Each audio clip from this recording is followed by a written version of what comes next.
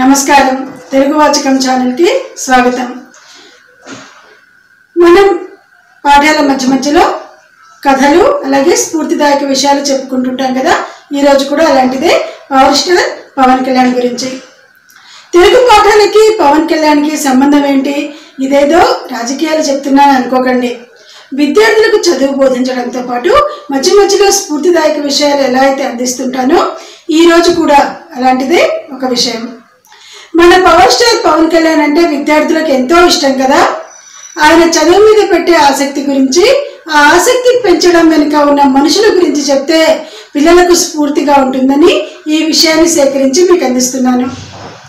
చాలా మందికి పవన్ కళ్యాణ్ అంటే ఒక సినిమా స్టార్ లేదంటే ఒక పొలిటికల్ పొలిటికల్ స్టార్. కానీ ఈ మధ్య ఆయన ఇంకో రకంగా కూడా ప్రజల ముందు ఫోకస్ అవుతున్నారు. అదే పుస్తకాలు చదవడం.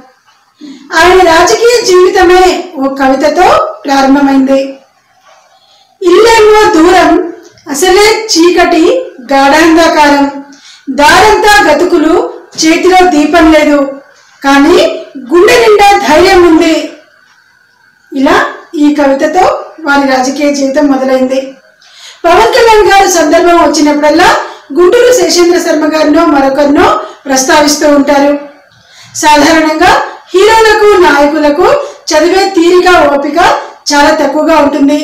కానీ అలాంటి వారికి కొన్ని పుస్తకాలను పరిచయం చేసి వాటిని చదివేలా ప్రోత్సహించే వ్యక్తులు కొంతమంది ఉంటారు. పవన్ వెనుక త్రివిక్రమ్ శ్రీనివాస్ గారు ఉన్నారని చాలా మందికి తెలుసు. అయితే ఇంకో వ్యక్తి కూడా ఉన్నారనే విషయం చాలా కొద్ది మందికే తెలుసు. ఆయన పేరు సిద్ధార్థ. ప్రముఖ కవి వాగ్గేయకారులు కూడా వారు.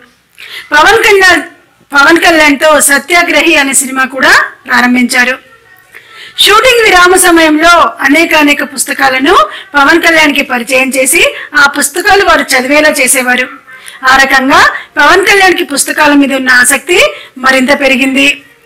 అలా పుస్తక పఠనం ఇప్పటికీ ఆయన్ని వెంటాడుతూనే ఉంది. చాలా సందర్భాల్లో పవన్ కళ్యాణ్ గారు కూడా తన మీటింగ్లలో ఈ విషయాన్ని చెప్తూ ఉంటారు. పుస్తక పఠనం అంటే తనకెంత అభిరుచో ఇదంతా ఎందుకు చెప్తున్నానంటే ఆయనను అభిమానించేవారు. ఆయన హీరోయిజాన్ని మేనరిజాన్ని మాత్రమే కాకుండా ఆయన పుస్తక పఠనాన్ని కూడా అనుసరిస్తారని పుస్తకాలు చదవడం కూడా ఇప్పుడు పవనిజంగా భావించాలని నా ఆశ ఆకాంక్ష. ఇది పవన్ కళ్యాణ్ గారి పుస్తక పఠనానికి సంబంధించిన సమాచారం. ఇక చదువు. చదువు గురించి చెప్పాలంటే పిల్లలు స్కూళ్ళకి ఎలా వెళ్ళాలి? పక్షులు ఎలా అయితే గూళ్ళని వదిలి రివ్వుల ఆకాశానికి వెళ్తాయో అంత ఆనందంగా వెళ్ళాలి. కానీ అలా జరుగుతుందా?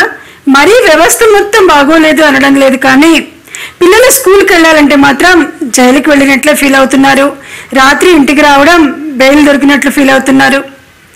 పగలు జైలు రాత్రి బెయిలు. అగ్గిపెట్టిన లాంటి డబ్బా స్కూళ్ళలో చదువుల్ని కుక్కుతున్నారే కానీ హాయిగా ఆటపాటలతో నేర్పే సంస్థలు చాలా తక్కువగా కనిపిస్తున్నాయి మనకు. పిల్లలకు చదువు మీద ఆసక్తి పెంచేలా ఉంటే నేర్చుకోవడానికి కూడా చాలా బాగుంటుంది. ఇక పిల్లలు చదువులో ఆసక్తి పెంచుకోవడానికి చిన్న చిన్న చిట్కాలు మనం పాటిస్తూ ఉండాలి.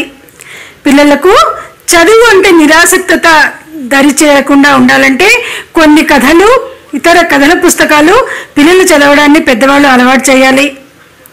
పిల్లలు చదవడానికి బద్దకిస్తే పెద్దవారే పక్కన కూర్చుని వారికి కథలు వినిపించాలి.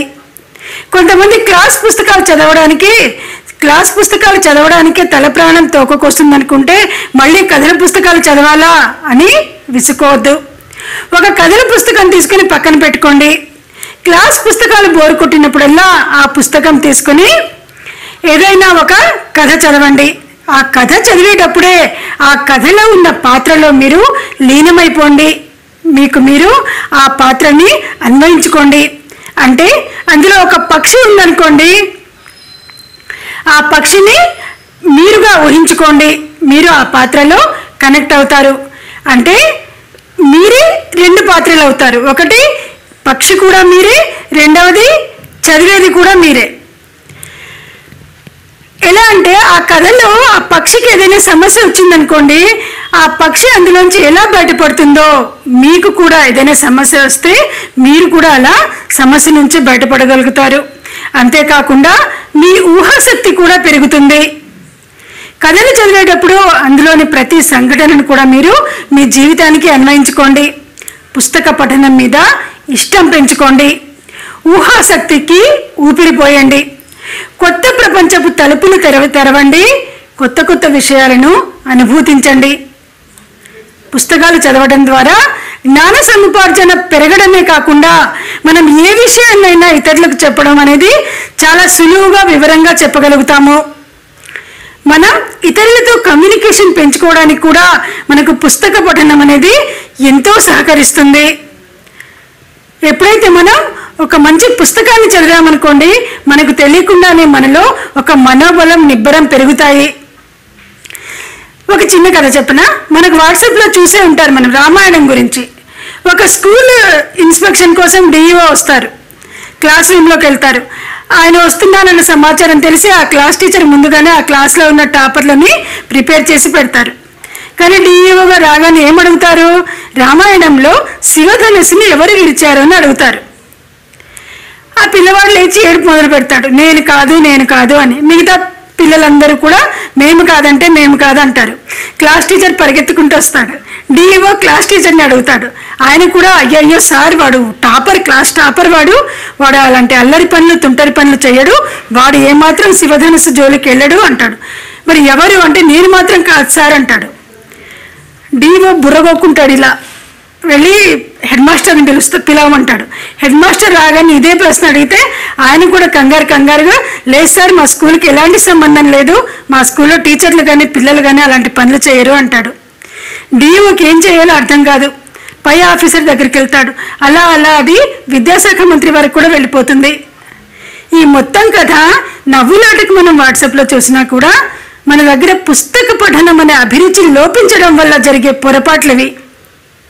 నిజంగా మనం పుస్తకాలు చదివామనుకోండి ఆ చదవడం అనేది ఇష్టంగా చదివామనుకోండి మనకు భాష మీద పట్టు రావడమే కాదు ప్రతి ఒక్క అంశం గురించిన అవగాహన కూడా ఉంటుంది. మీరందరూ కూడా ఈ క్షణం నుంచే పుస్తక పఠనాన్ని మీ హాబీగా ఒక అలవాటుగా అభిరుచిగా మార్చుకుంటారని ఆశిస్తున్నాను. మళ్ళీ ఒక కొత్త సమాచారంతో ఇంకో వీడియోలో మళ్ళీ కలుద్దాం.